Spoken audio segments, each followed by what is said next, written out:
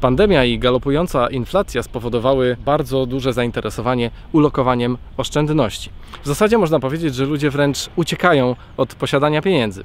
Powszechna e, wiedza jest taka, że najlepiej jest ulokować swoje oszczędności w nieruchomości, ale jednak w tym wypadku trzeba mieć już sporo kapitału. Zatem w co inwestować mniejsze kwoty? Czy warto inwestować w klasyki? Dzisiaj do filmu zaprosiłem gościa, który w tych sprawach jest ekspertem. Zresztą możecie go kojarzyć z kilku filmów na moim kanale właśnie o klasycznej motoryzacji.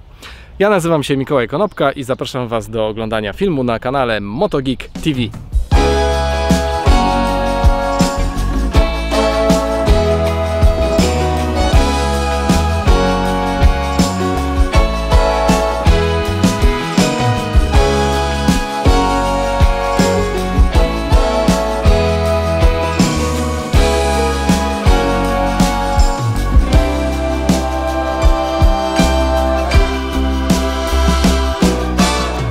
Cześć Piotrze. Cześć Mikołaj.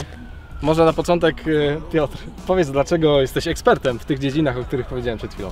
No tak się składa, że pracuję w Wyższej Szkole Bankowej w Toruniu i Wyższej Szkole Bankowej w Bydgoszczy i zajmuję się tam przedmiotami finansowymi, a dodatkowo kocham samochody, więc możemy dzisiaj porozmawiać i o pieniądzach i o samochodach. Okej, a jeszcze powiedz jakie przedmioty wykładasz na tej... No takie związane z pieniędzmi, czyli bankowość, ubezpieczenia, inwestowanie.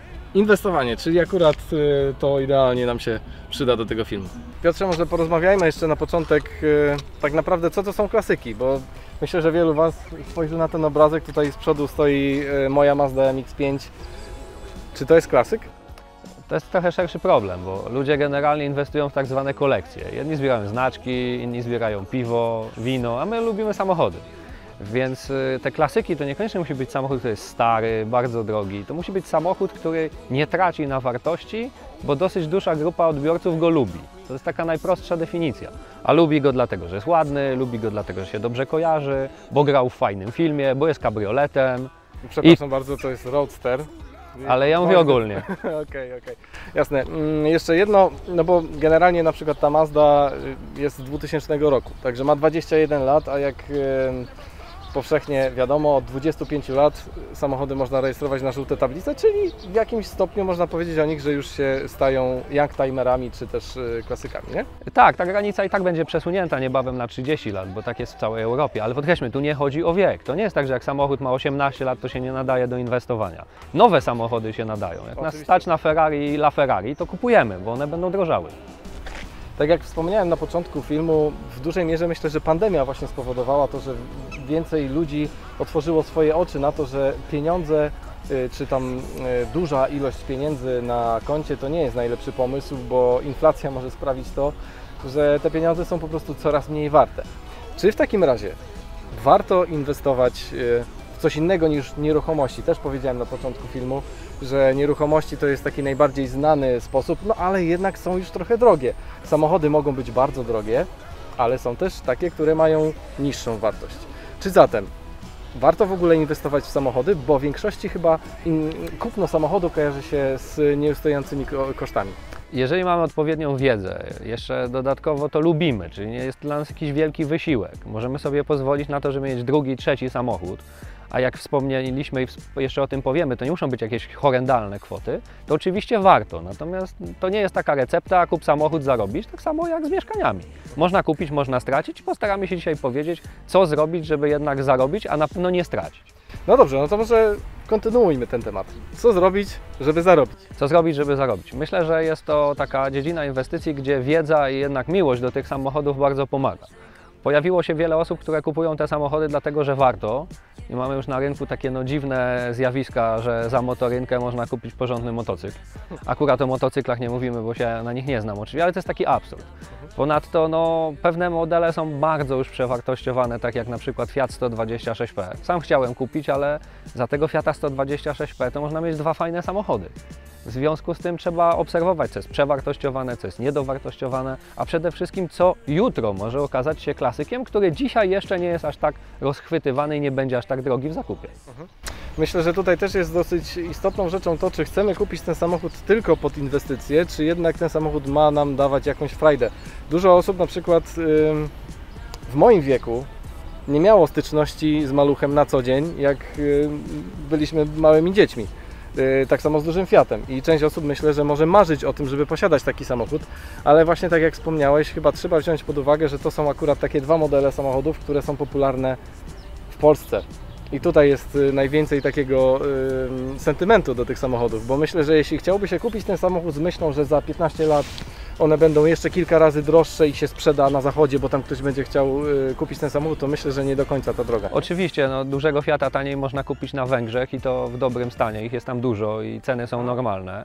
Tak jak wspomniałeś, ja jestem z tego pokolenia, dla którego maluch to było coś do jeżdżenia do pracy i mając malucha marzyłem, żeby kupić samochód.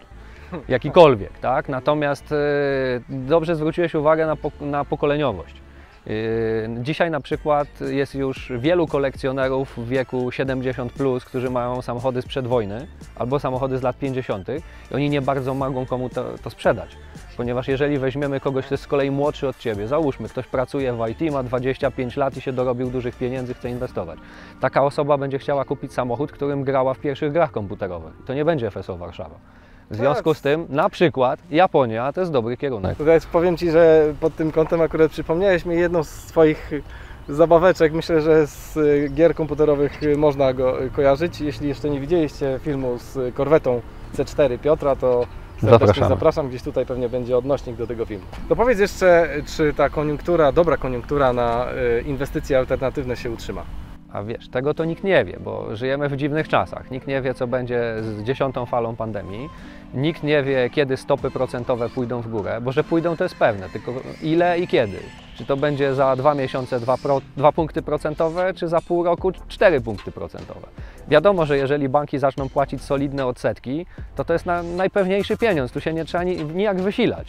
Im, Im lepiej jest w banku, tym gorzej jest na rynku inwestycji alternatywnych. No tak, teraz w banku nie jest najlepiej. Teraz w banku jest tragicznie, dlatego kto ma jakiekolwiek pieniądze, to chce z nimi uciekać.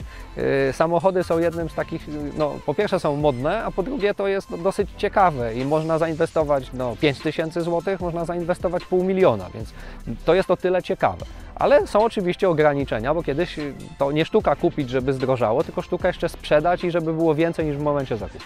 To w takim razie powiedz, ile można zarobić? No bardzo dużo, wiesz, jak mówi znane powiedzenie, drogo kupić, tanio sprzedać i głupio się ożenić, to każdy potrafi, więc trzeba robić na odwrót.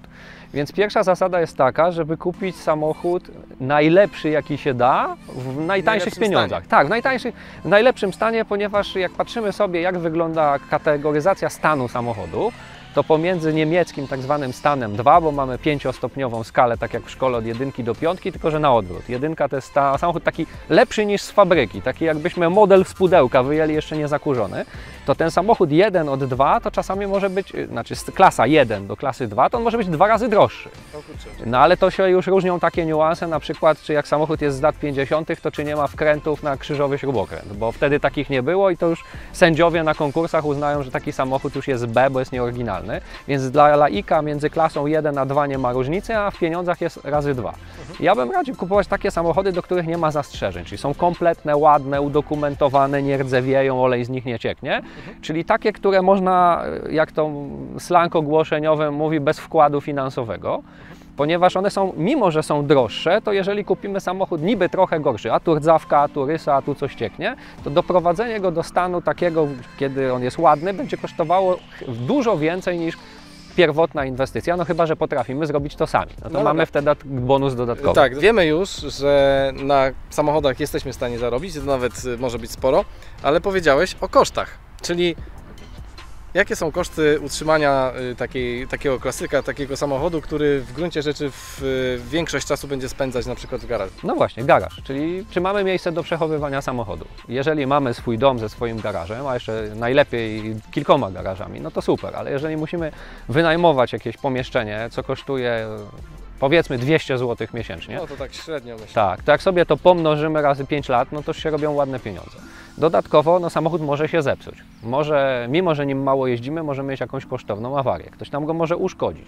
E, mogą nam go ukraść. No to E, jest pewne ryzyko. No, a przede Oczywiście. wszystkim y, trzeba płacić ubezpieczenie i robić przeglądy. No oczywiście są możliwości niepłacenia OC na żółtych tablicach, zrobienia przeglądu wieczystego, no, ale nie każdy ma żółte tablice. Dlatego a powiedz jeszcze, czy, a propos, czy w ogóle warto rejestrować samochód na żółte tablice? y, trudno stwierdzić, bo nie wiemy, w którym kierunku podążą przepisy. Na pewno pewno jeżeli samochód będzie na żółtych tablicach, to on z punktu widzenia uzyskiwania odszkodowania za jego uszkodzenie będzie łatwiej. Natomiast niekoniecznie może być łatwiej ze sprzedażą za granicę. Oczywiście jak jest tylko, zależy, on jest w ewidencji czy w rejestrze zabytków, tu też przepisy mm, dają różne możliwości. Ja osobiście nie jestem fanem tego rozwiązania i moich samochodów na żółtych tablicach nie ma. Rozumiem, że jeśli samochód jest zarejestrowany na żółte tablice, to żeby go sprzedać za granicę, trzeba mieć zgodę. Nie, nie, to ty, dotyczy tylko tych, które są w rejestrze zabytków, to A. wtedy tak, ale w ewidencji wystarczy poinformować. Nie, to jest jeden z mitów, to nie jest aż taki duży problem. E, natomiast no nie wiemy, co. be- To jest inne niebezpieczeństwo. Jeżeli zrobisz samochód na żółte tablice, to on już będzie za zawsze na żółtych tablicach. I to, że dzisiaj można, to nie znaczy, że będzie można jutro, pojutrze, za 5 lat tym samochodem swobodnie obracać. Bo może się pokaże ustawa o ochronie dóbr kultury, którą właśnie wymyśliłem, i ona tego zakaże. Natomiast i nie ma już odwrotu od żółtej tablicy. To jest po prostu ten problem. Czyli mimo pewnych y, plusów y, rejestracji na żółte tablice, to jednak trzeba być z tym bardzo ostrożnym. Tak, generalnie trzeba być ostrożnym, bo jeżeli sobie popatrzymy na notowania samochodów za- zabytkowych, bo to, to nie jest tylko tak, że my sobie o tym rozmawiamy. To poważne banki dla swoich klientów z private bankingu mają takie oferty. Są fundusze inwestycyjne, gdzie możesz sobie kupić udział w Ferrari F40, bo cię na nie nie stać, albo w pakiecie Ferrari całym, tak? Ale pamiętajmy, że y, największa moda to już się zaczęła dawno temu. Jak popatrzymy na większość wykresów, to olbrzymie wzrosty cen samochodów to są lata 2.5-2.15. My jesteśmy teraz już na dużej górce wielu modeli. I wiele modeli popularnych typu Ferrari, Porsche 911 w przeciągu ostatnich pięciu lat były okresy, że ludzie potracili na tym 20-30%. To tego też trzeba być świadomym, że nie, nie iść jak te owce na rzeź, kup Porsche to zarobisz, wręcz idźmy tam, gdzie nie ma innych. Czytałem, że mm, największą bańką był Mercedes Gullwing. No ja widziałem osobiście egzemplarze po 2 miliony euro, gdzie się ludzie jeszcze prawie bili o te samochody. Y, Dochodziło do takich absurdów, że na targach w Paryżu największe zainteresowanie na jednym ze stoisk firmy, która się specjalizuje w tych modelach, y, budził samochód, który był w stanie barn find, czyli taki z szopy z pajęczynami, ale był rozbity. I ludzie się bili o rozbity samochód, dlatego że ładny to już każdy w kolekcji miał. To były takie absurdy i to już wskazywało na to, żeby jednak trzymać się z dala tego modelu. I teraz drobna korekta na Galwingu to jest y, dom jednorodzinny w Warszawie, nie? Bo ktoś kupił za 2 miliony euro, a sprzedaje za 1 700 No za 300 tysięcy euro to już No tak, można tak. kupić ładny dom. To jest, to jest duża strata. Tak. Tak, i dlatego należy, należy uważać. Ja bym zwracał uwagę na ogólne prawidłowości, czyli jeżeli jest dzisiaj w produkcji jakiś model, którego było mało, który jest sportowy, ekskluzywny, ładny, nie wiem, sygnowany przez rajdowego mistrza świata na przykład. Y, Mam tutaj jeszcze dodatkowe Mhm. pytanie, wejdę Ci w słowo, bo miałem się zapytać właśnie, czy wybierając samochód warto szukać jakichś e, wersji, które były w wąskim e, oknie produkcyjnym, tak jakieś właśnie Oczywiście tak, no, no powiedzmy, kupujemy Golfa 1. Wiadomo, że szybciej sprzedamy GTI No, niż no jakiegoś tak, tak. golasa z korbkami, ale jeżeli to będzie jakiś ciekawy golas, który wyszedł z jakiejś tam okazji, no na przykład będzie to jubileusz Golfa, jakikolwiek, Mhm. no to ten samochód z automatu sprzeda się lepiej niż taki, który jest perfekcyjny, kompletny, ale jest po prostu zwyczajny i nudny. A co z takimi wersjami a propos Golfa, jak była wersja Bon Jovi? To nie jest jakaś tam super specjalna wersja, ale jednak jest ten napis, tam jest... Tak, Bon Jovi, Memphis Edition, tak, tych y, nazw było dużo, niektóre modele to mają po kilkadziesiąt takich wersji specjalnych. Co z nimi? Czy one też się liczą wtedy jako wyższa wartość, czy... Wszystko zależy, co chce kupujący. Niektórzy ludzie, jak budują kolekcję, to są w stanie za coś takiego zapłacić, bo tego po prostu nie mają. Jest... A. I często ja na przykład obserwuję coś takiego, że podoba mi się jakieś auto, rozmawiam z kolekcjonerami, eee, to, to, to jest nic nie warte, bo 200 tysięcy tego zrobili, ale mi się to podoba. Natomiast wyszukują dziwnych konfiguracji. No na przykład były takie Mercedesy y, 600 SL, te takie SL, te duże, Mhm. W100 model i one przeważnie były długie, jako limuzyna. I tym jeździli jacyś dyktatorzy, szejkowie, to jakieś chore pieniądze kosztuje, ale zrobili trochę krótkich, takich normalnych, czterodrzwiowych. Nikt tego nie chciał. Dlatego ich mało zrobili. Ale dzisiaj, jak ktoś już ma w kolekcji długie w każdej wersji kolorystycznej, no a krótkiego nie ma, to za niego zapłaci. Rzadkość jest ewidentną cechą, która podbija cenę. Nawet jak nam się nie podoba, to czasami, czasami mm, może tutaj nie do końca, bo po co kupować, co nam się nie podoba, ale jak mamy do wyboru i jedno jest rzadsze, to kupmy to rzadsze. Okej, rozumiem. Powiedz Piotrze w takim razie, jakie samochody kupować? E, Przede wszystkim takie, które jakoś trochę znamy, ponieważ bardzo wielu inwestorów kupuje samochód, e, ktoś im powiedział, że dany model jest fajny. Okazuje się, że kupili stary samochód, chcą się gdzieś przejechać i nie potrafią nim jeździć, bo zalali gaźnik, nie potrafią zmieniać biegów, nie ma elektronicznych pomagajek, nie skręca, bo to jest jakieś stare auto na wąskich oponach i może inwestycyjnie jest ciekawie, ale się z nim męczą. Dlatego No, trzeba te właśnie. auta jakoś poznać. Bo tu jeszcze pytanie jest, czy kupujemy ten samochód tylko pod kątem inwestycji, czy też pod kątem tego, żeby dawał nam trochę przyjemności z jazdy. No najlepiej, żeby dawał też przyjemność, bo mamy wtedy taki dodatkowy bonus i nawet jak nie zarobiliśmy tyle, co chcieliśmy, to przynajmniej była fajna zabawa. A czy w takim razie ma znaczenie to, czy kupujemy samochód e, japoński, e, niemiecki, czy może... O, czekaj, co tu się... Co tu się dzieje? Właśnie, może amerykański.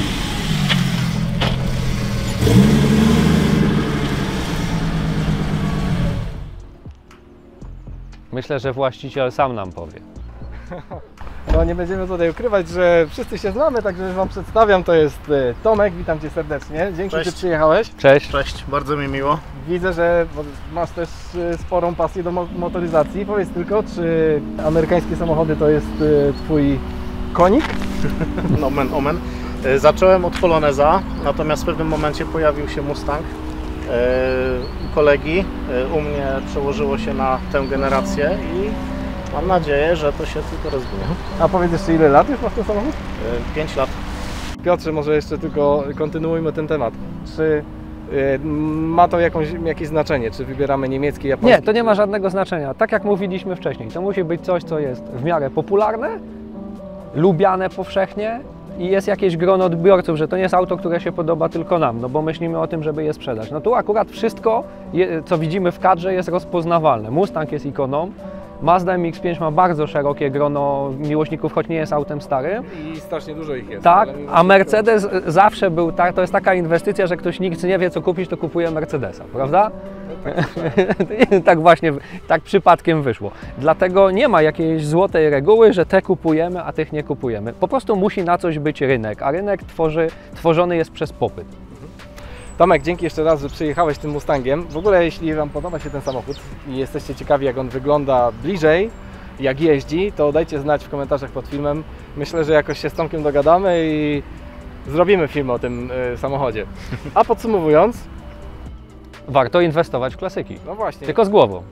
dokładnie, czyli jest to coś, co jest szansa, że nie stracimy pieniędzy na tym, jest szansa nawet, że zarobimy, a oprócz tego są to samochody, które sprawiają bardzo często mnóstwo frajdy z jazdy, a oprócz tego poznaje się przy tym bardzo ciekawych ludzi, bo samochody z reguły kupują pasjonaci, Oczywiście. więc y, można się spokojnie spotkać właśnie w takim miejscu, pogadać o silniku, zawieszeniu, o innych... y, O inwestycjach. o inwestycjach. No i zdobyć nowe doznania z jazdy, bo zanim coś kupimy, to warto na zlocie do kogoś podejść, zagadać, a może się przejechać.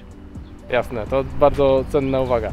To co chłopaki? Myślę, że jak już się spotkaliśmy, to To co, to jedziemy, nie? trzeba by się pozamieniać. No nie? to. No to w Na drogę. razie.